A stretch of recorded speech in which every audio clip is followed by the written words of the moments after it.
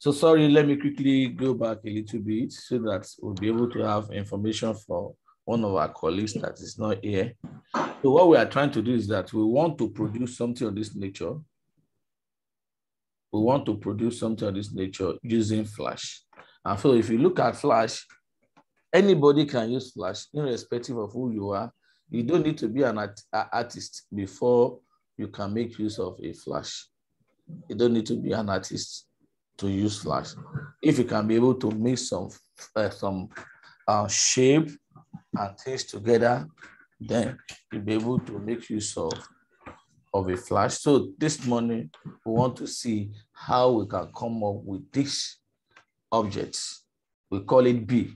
How do we come about it and what are the things we need to do and to make sure that we are able to come up with this. So the step to step to follow has been given in this uh in this lab. The step to step to follow has been given in this lab. So and we are expected to come up with something better than this, even if it is not close to this, it should be better. If it is close, if it is uh, if it is close to this, but we should be able to produce something better than this. But nevertheless, if we can't produce something better than this, we should be able to have something close to this. So that's the reason we are going to follow the step one after the other to get it done. So the first thing we need to do is to drop um, do oval shape on our uh, workspace. On our workspace, or we call it stage, on our stage. We need to get to oval shape, something of this nature. So what we need to do, or what we have done earlier, is that we have been able to do that. We click on the oval shape to drop the bigger shape, and then you click on the uh, oval shape again to drop the smaller shape. But make sure that the smaller shape is slipping over the bigger shape. The smaller uh, shape is slipping over the bigger shape so that we can be able to form the body of the bee. So the head and then the other body of the bee. So being joined together. So we'll be able to do that. And so if you have this, we will know, we would like to do something so that we'll not be able to tamper with the shape we've created before. So what we now need to do is to convert this shape, uh, this shape to symbol so that it will be able to appear on our profile. Then we can make use of it later in the day. We can modify it to suit our purpose. So what we need to do is just to highlight it. How do we highlight? You click on this uh, tools, highlight uh, selection tools, and then you come over it like this. It's because we converted this into symbol. That's the reason why it's not highlighted. So when you cover it, to be highlighted and then, okay, let me go to scene. Let me go to scene, then you just highlight like this. Though we will not be able to do that because we have already converted this thing to symbol. So when you highlight like this, then the next thing you need to do is to click on modify. When you click on modify, then you click convert to symbol. When you click on convert to symbol, you, you have something like this. You have something like this Then In the name, you type B, and then the type, we have so many types, but we're going to click on movie clips. We have button, we have graphics, but for the purpose of this work that we are doing this morning, we're going to click on movie clips. We're going to click on movie clip, and then when you are done with that, you click on OK. So when you click on OK, you have your being, the B body being converted to uh, what do you call it? Or the B being converted to a symbol. Immediately, if you go to the library, you can see there. Or you go to the library, you can see it there. And so, what do we need to, to now do now so that we'll be able to get our work done properly. So the next thing we need to do is to get into the B time uh, frame. We need to go into B frame because here we cannot edit anything any longer because there is a green, if you look at it very well, there is a blue rectangle there showing that it has been locked.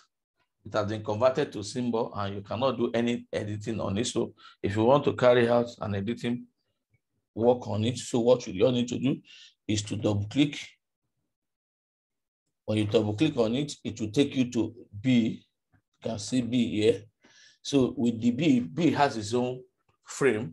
It has its own time frame. And from there, you can now arrange your work the way you want it to look like. You cannot arrange your work the way you want it to look like. So now you create many layers because before is only one layer that is there. So you create more layers. So you create face layer, you create right wing layer, you create a left wing layer, and then also you create legs.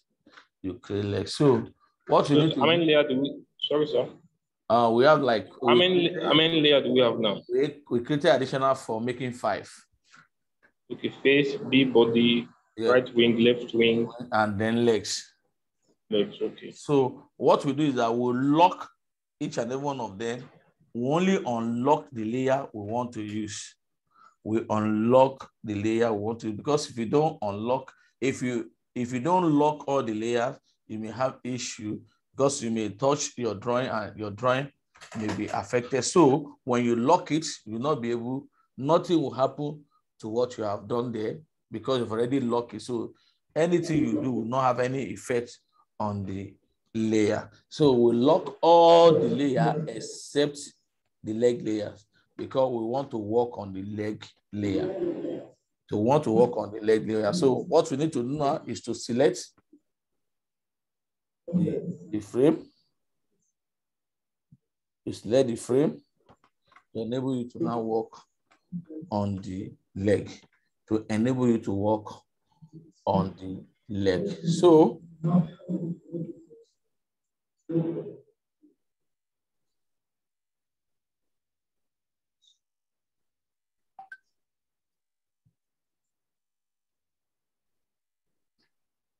So we are doing something like this now.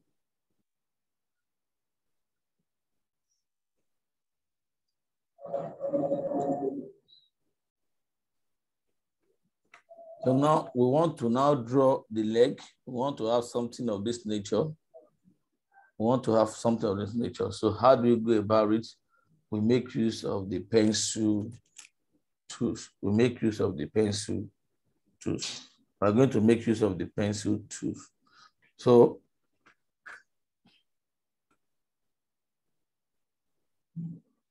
now we know this is where we are going to get the pencil tools.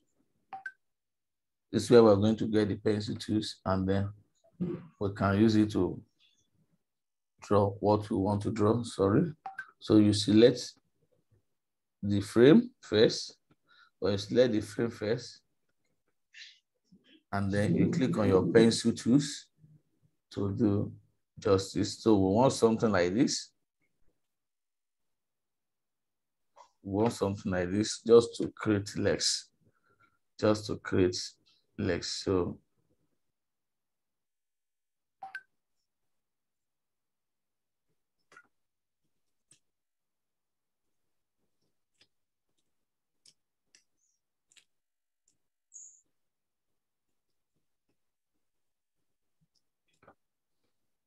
So we want to create the legs.